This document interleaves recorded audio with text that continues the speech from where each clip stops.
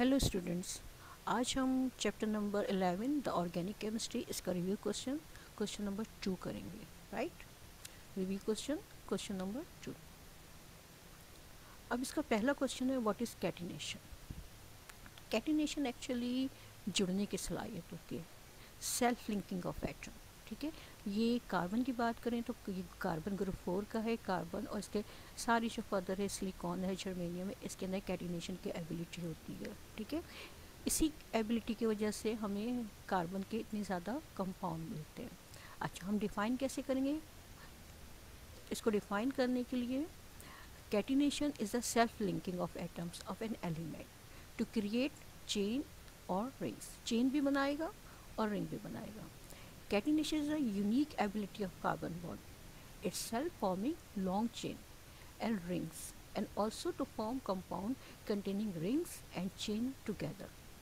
यानी सिर्फ़ चेन भी बना सकता है सेल्फ लिंकिंग से ब्रांच चेन भी बना सकता है ठीक है साइक्लिक चेन भी बना सकता है और रिंग और चेन टुगेदर भी बना सकता है एक साथ this property of carbon result in enormous change of compound of carbon तो इसी वजह से कार्बन के बहुत ज़्यादा कंपाउंड हमें इस कैटिनेशन के प्रॉपर्टी की वजह से मिलते हैं। अगर हम एग्ज़ाम्पल देखना चाहें तो हमें ब्रांच चेन भी नज़र आ रहे लीनियर यानी स्ट्रेट चेंज भी नज़र आ रहे और रिंग भी नज़र आ रही। Three carbon five carbon six carbon इस तरह कार्बन की ये प्रॉपर्टी जो है जिसकी वजह से हमें कार्बन के बहुत ज़्यादा कंपाउंड मिलते हैं। क्वेश्चन नंबर टू है, रिव्यू क्वेश्चन का दूसरा कंपोनेंट है डिफाइन आइसोमेरिज्म तो आइसोमर एक्चुअली ये प्रॉपर्टी है, जिसके अंदर क्या होते हैं, ऐसे सब्सटेंस जिसका फॉर्मूला तो सेम है, ठीक है? फार्मूला सेम है मॉलिकुलर फार्मूला सेम है बट स्ट्रक्चर फार्मूला अलग है। यानी इसको मुख्तलिफ़ तरह एक्चुअली वो दो अलग अलग सब्सटेंस होते हैं, जिनका केमिकल फार्मूला सेम होता है। तो हम कह सकते हैं the phenomena in which more than one compound have the same chemical formula but different chemical structure तो इसके डिफरेंट केमिकल स्ट्रक्चर हैं। अब यहाँ पे कुछ एग्ज़ाम्पल से पहले प्रॉपर डेफिनेशन देख दें chemical compound that have identical chemical formula but differ in properties and the arrangement of atom in the molecular car called isomers. यानी बज़ाहिर तो ऐसा लग रहा है कि फार्मूला सेम है। जैसे यहाँ पे एक एग्जांपल दी है, यहाँ पे ब्यूटेन की। अगर ब्यूटेन को हम देखें तो स्ट्रेट चेन में इस तरह लिख सकते हैं और ब्रांच चेन में इस तरह रख सकते हैं। ब्यूटेन में फोर कार्बन तो यहाँ पे फोर कार्बन है, यहाँ पे फोर कार्बन है, दोनों का molecular formula C four H ten है। लेकिन लिखने के तरीके से इस मीन्स कि एन ब्यूटेन और आइसो ब्यूटेन बहुत ज़्यादा different substances they having different properties right एक और है पेंटीन जिसके अंदर पाँच कार्बन आइटम है तो अगर हम स्ट्रेट चेन में रखें तो इस तरह से आएगा। एक ब्रांच बनाए तो आइसोपेंटेन बन जाएगा और दो ब्रांच बनाए तो न्यू पेंटेन बन जाएगा। अगर फर्दर हम इसको देखना चाहें तो हमें ये पता चलता है कि आइसोमेरिज्म की मुख्तलिफ़ टाइप्स होती हैं, मुख्तलिफ़ तरीके से आइसोमेरिज्म को एक्सप्लेन किया जा सकता है। इसके आइसोमर्स चेन आइसोमर्स होते हैं पोजीशन आइसोमर्स होते हैं फंक्शनल ग्रुप आइसोमर्स होते हैं, ये सारे स्ट्रक्चर आइसोमर्स हैं। स्टीरियो आइसोमेरिज्म भी होता है, जिसके अंदर जोमेट्रिकल आइसोमर्स देखा जाता है और ऑप्टिकल यानी लाइट की मदद से उसके आइसोमेरिज्म की प्रॉपर्टी को स्टडी किया जाता है। या आप हायर क्लासेस में चाहेंगे तो पढ़ लेंगे। There are several types of isomerism, including structural isomerism, stereoisomerism, and geometrical isomerism. Each type of isomerism is characterized by a specific way in which the atoms are arranged in a molecule और हर isomers के type में अलग तरीके से molecule को की arrangement होती है जिसकी वजह से वो डिफरेंट इन नेचर होता है राइट right?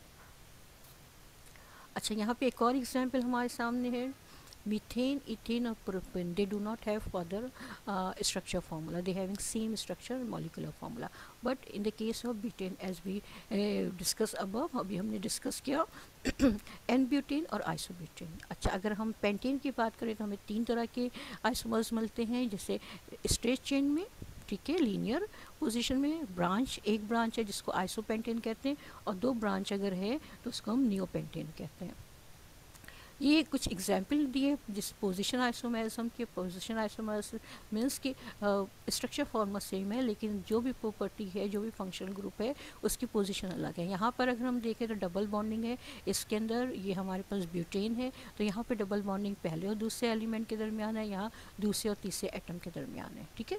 अगर पोजिशन आइसोमेरिज्म फंक्शनल ग्रुप के लिहाज से देखें तो ओ OH ग्रुप यहाँ पर है, ये बिटोनॉल बनेगा और बिटोनॉल की जो ओ OH ग्रुप है, ये फ़र्स्ट एग्ज़ाम्पल के अंदर कॉर्नर पे टर्मिनल पर लगा हुआ है, जबकि सेकेंड एग्ज़ाम्पल में ये दरमियान में मिड में लगा हुआ है सेकेंड एलिमेंट के ऊपर। तो ये दो both have the different types of butanol ठीक है? अब अगर हम कार्बोक्सिलिक की एग्जांपल बने ये भी एक फंक्शनल ग्रुप है।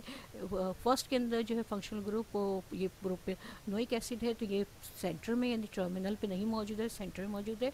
और अगर यहाँ पे फंक्शनल ग्रुप देखें तो यहाँ पे हमें इसकी पोजीशन जो है वो टर्मिनल पे नज़र आ रही है। इस तरह किसी भी पोजिशन के चेंज होने से स्ट्रक्चर फार्मूला चेंज हो जाएगा, जबकि मॉलिकुलर फार्मूला सेम रहेगा। होप सो यू अंडरस्टैंड अच्छा क्वेश्चन नंबर थ्री है यहाँ पर। Give three examples of alkyl group अब इससे पहले कि हमें पता चले कि अल्काइल ग्रुप कैसे बनते हैं, हमें ये समझ आ जानी चाहिए किसी भी अल्केन को ले लें, कोई भी उसका स्ट्रक्चर फार्मूला हो, उसके अंदर से अगर हम एक हाइड्रोजन को रिमूव कर दें तो it become the alkyl radical जैसे यहाँ पे मीथेन है मीथेन में से एक हाइड्रोजन निकाल दिया तो अब ये अल्काइल रेडिकल यानी मिथाइल बन गया। अब यहाँ पर हमने तीन एग्ज़ाम्पल चाहिए थे तो पहली एग्ज़ाम्पल मीथेन की दी है मिथाइल रेडिकल दूसरी इथेन की दी है इथाइल रेडिकल और तीसरी हमने दी है प्रोपेन की प्रोपाइल रेडिकल हर, इसका जो फॉर्मूला सी एच फोर था, इसका सी एच थ्री और एक अनपेड इलेक्ट्रॉन है? इसका जो फॉर्मूला इथेन का था सी टू एस सिक्स यानी C H three C H three तो अगर एक हाइड्रोजन हम निकाल दें तो यहाँ पे क्या बच जाएगा? यहाँ पे सी सी टू और एच फाइव बच जाएगा। अगर हम प्रोपेन की बात करें तो प्रोपेन के अंदर सी थ्री एच एट है तो एक हाइड्रोजन निकाल दें तो सी थ्री एच सेवन बन जाएगा और ये प्रोपाइल रेडिकल बन जाएगा।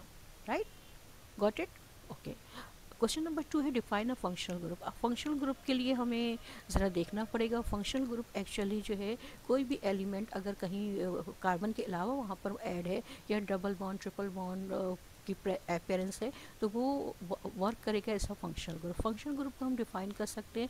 और functional group is a specific group of atom within a molecule that is responsible for the chemical reactivity यानी वो एलिमेंट जो कि केमिकल रिएक्टिविटी की वजह बन रहा है उसको हम फंक्शनल ग्रुप करेंगे. ठीक है? अच्छा molecule certain chemical properties such as ability to participate in a certain type of chemical reaction. हर एलिमेंट uh, या ग्रुप ऑफ़ एलिमेंट जो है उसकी अपनी एबिलिटी होती है रिएक्शन की केमिकल रिएक्शन की। तो उसकी प्रेजेंस की वजह से से रिएक्शन चेंज हो जाएगा। There are many different types of functional group including alcohols ठीक है? कार्बोक्सिलिक एसिड अमाइन ईथर और भी बहुत सारे। The presence and type of functional group within a molecule can greatly affect its chemical behaviour and reactivity. अगर हमारे पास methane है, उसके अंदर ओ ग्रुप आ गया तो वो मिथाइल बन गया, मिथाइल अल्कोहल बन गया। तो मीथेन और मिथाइल अल्कोहल की प्रॉपर्टीज़ टोटली डिफरेंट होती हैं, उनके केमिकल रिएक्शन और केमिकल बिहेवियर टोटली डिफरेंट होता है। तो इट मीन्स कि फ़ंक्शन ग्रुप की वजह से हम किसी भी एलिमेंट को अटैच करें किसी भी दूसरे कार्बन के अल्काइल रेडिकल के साथ तो उसका बिहेवियर चेंज हो जाएगा, वो नया सब्सटेंस बन जाएगा। कॉमन जो फंक्शनल ग्रुप कार्बन के साथ अटैच होते हैं, जिसमें हेलोजिन आ गया अल्कोहल आ गया एल्डिहाइड है कीटोन है कार्बोक्सिलिक है अल्कीन है और अल्काइन है। इसको हम आगे जाके डिटेल में देखेंगे राइट अभी जो है हम फर्दर थोड़ा सा और देख लेते हैं फंक्शनल ग्रुप को। तो फंक्शनल ग्रुप जो कॉमन आपकी सिलेबस में है वो ये है अल्कोहल जब जब भी ओ OH ग्रुप लगता है तब तो ओ लगा देते हैं जो भी अल्काइल रेडिकल होगा। अगर इथेन से बनाए तो इथेनॉल होगा प्रोपेन से बन, बनाए तो प्रोपेनॉल होगा एंड सोन ईथर ईथर के अंदर सेंटर में जो है दोनों साइड पे जो है अल्काइल रेडिकल होना ज़रूरी है। हम दोनों अल्काइल रेडिकल का नाम लिखते हैं जैसे यहाँ पे दोनों साइड पे इथाइल है ठीक है? C two H five alkyl radical है तो हमको डाइथाइल ईथर कहते हैं। अगर एक यहाँ पे मिथेन मेन मिथाइल होता है तो हम मिथाइल इथाइल ईथर कहते हैं। यानी ईथर का नाम हम लगा देते हैं किसके साथ? जो भी फंक्शनल ग्रुप वहाँ पे अटैच होता है, उसके साथ, ठीक है? अगर हम देखें एल्डिहाइड एल्डिहाइड जो है सी एच ओ ग्रुप होता है। सी एच ओ ग्रुप जब होगा तो हम नाम के साथ आखिर में ए एल लगाएँगे। जैसे ये इथेन है तो इथाइल इथेनॉल कहलाएगा। अगर मीथेन हो तो मिथेनॉल कहलाता प्रोपेन होता तो प्रोपेनॉल कहलाता। अगर हम कीटोन की बात करें तो कार्बोनाइल ग्रुप होता है सेंटर में, दोनों साइड पे कोई अल्काइल रेडिकल होता है। अगर हम ये प्रोपेन से बना है तो प्रोपेनॉन होता है ओ एन ई लगाते हैं। कार्बोक्सिलिक की बात करें तो ओइक एसिड हम लगाते हैं। ओइक एसिड जब हम लगाते हैं तो एक साइड पे जो है हमारा कोई फंक्शनल ग्रुप हो सकता है तो हम उसी के हिसाब से हम बताते हैं, ये C double O H group हमारा अटैच होता है, ठीक है? अगर इथेन से बनाए तो इथेनोइक एसिड होगा प्रोपेन से बनाए तो प्रोपेनोइक एसिड होगा ब्यूटेन से बनाए तो butanoic acid and so on ठीक है? अगर ईस्टर की बात करें तो हमें पता चलता है कि ईस्टर के अंदर क्या होता है, एक जो है हमारा सी ओ कार्बोनाइल ग्रुप है, उसके साथ जो है, उस कार्बोनाइल ग्रुप के कार्बन के साथ एक और ऑक्सीजन अटैच है, और फिर एक और अल्काइल रेडिकल लगा होता है तो इस अल्काइल रेडिकल का हम नाम लिखते हैं जो ऑक्सीजन के साथ अटैच है। जैसे यहाँ पे मिथाइल लगा हुआ है तो हमने मिथाइल लिखा। यहाँ पे इथे इथाइल होता तो इथाइल लिखते जो भी फंक्शनल ग्रुप इस ऑक्सीजन के साथ अटैच है, उसका नाम लिखते हैं। और फर्दर रिमेनिंग जो चेन है, उसको हम कार्बोक्सिलिक के साथ अटैच करके हम बता सकते हैं।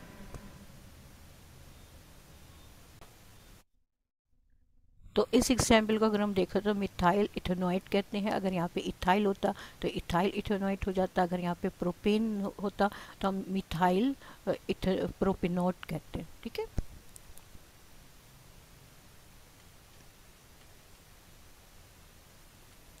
अच्छा फंक्शनल ग्रुप को जैसे यहाँ पे मैंने आपको बताया कि कॉमन जो आपकी बुक के अंदर है, वो कीटोन है फिनॉल है एल्डिहाइड है अल्कोहल है और फंक्शनल ग्रुप जैसे यहाँ पे आपको नज़र आता है ये सारे सिंगल बॉन्ड हैं, यानी अल्केन है, ये एक डबल बॉन्ड है अल्कीन है, ये ट्रिपल बॉन्ड है अल्काइन है और जो भी फंक्शनल ग्रुप है, उसकी पोजिशन चेंज हो रही है। यहाँ पर टर्मिनल पर इधर लगाए इधर लगाए इधर लगाए तो ये स्ट्रेट चेन है और सिंगल बॉन्ड है, ये डबल बॉन्ड एक पॉसिबल है और ये ट्रिपल बॉन्ड है तो तीनों का नाम अलग अलग होगा। तो इस तरह से हम किसी भी फंक्शनल ग्रुप की प्रॉपर्टी को डिफाइन कर सकते हैं। अच्छा question number five what is the difference between an alkane and alkyl radical the main difference जो है वो between alkane alkyl radical is that alkane is hydrocarbon with only single bond between the carbon atom यानी carbon atom के दरमियान जो bonding होगी वो हमेशा सिंगल होगी, कहीं पे भी डबल बॉन्डिंग नहीं है, ठीक है? और फंक्शनल ग्रुप जो है वो single carbon carbon containing substance होगा और कोई अनपेयर्ड नहीं होगा। जबकि अल्काइल रेडिकल की हम बात करें तो ये भी सिंगल बॉन्ड होते हैं कार्बन लेकिन एक अनपेयर्ड इलेक्ट्रॉन इनके पास होता है। अगर अल्केन की बात करें तो मीथेन जैसे एग्ज़ाम्पल है इथेन एग्ज़ाम्पल है प्रोपेन एग्ज़ाम्पल है, जिनका जर्म फार्मूला है C n H two n plus two है और अगर हम बात करें अल्काइल रेडिकल की तो हमें पता चलता है अल्काइल ये सारे के सारे एक्चुअली सेचुरेटेड होते हैं, ठीक है? इनको alkanes are consider as a saturated hydrocarbon they have the maximum number of hydrogen atom that can be bonded to the carbon atom जितने मैक्सिमम हाइड्रोजन आ सकते हैं, वो सारे के सारे होते हैं। क्योंकि इनकी ये सेचुरेटेड होते हैं, इसलिए क्या होता है, इनकी they have low reactivity and relatively stable compound तो इनको स्टेबल कंपाउंड भी कहा जाता है, क्योंकि ये रिएक्टिव नहीं होते क्यों रिएक्टिव नहीं होते? क्योंकि इनकी वैलेंसी सेटिस्फाई होती है। यहाँ पे हम, अभी हमने ये देखा था कि अगर हम किसी भी अल्केन के अंदर से यहाँ पे मिथेन की एग्ज़ाम्पल दिए, एक हाइड्रोजन को निकाल देंगे तो it become the alkyl radical यानी मिथाइल बन गया है और इसके के पास एक अनपेड इलेक्ट्रॉन मौजूद है। अनपेड इलेक्ट्रॉन होने की वजह से ये हाईली रिएक्टिव हो जाता है। तो हम कैसे कह सकते हैं on the other hand an alkyl radical represented by R R लिखते हैं आर में अल्काइल रेडिकल एक, इसके पास अनपेयर्ड है तो हम वो इलेक्ट्रॉन शो करते हैं। Where R represent the carbon atom R carbon atom को रिप्रेजेंट करते हैं और ये हाइड्रोजन आइटम जो है, वो अटैच होता है। हैज़ अ फॉर्मूला आर ठीक है अल्काइल रेडिकल है one unpaired electron making them highly reactive and participate in many chemical reaction such as substitution and addition reaction जो अल्काइल ग्रुप होता है, वो हाईली रिएक्टिव होता है क्योंकि उसके पास अनपेड इलेक्ट्रॉन है, जैसे मिथेन से मिथाइल रेडिकल इथेन से इथाइल रेडिकल प्रोपेन से प्रोपाइल रेडिकल और इसका केमिकल जो जरा फार्मूला है C n H two n plus two के अंदर से एक हाइड्रोजन हम माइनस कर देंगे। अगर हम इसको समराइज़ करें सारे के सारे उसको तो हमें पता चलता है alkanes are hydrocarbon with single bond and are relatively stable and less reactive compound while alkyl radical are functional groups with one unpaired electron and are highly reactive substance. Hope so student क्या आपको समझ आया होगा। इंशाल्लाह अब next video में हम मिलते हैं। Okay take care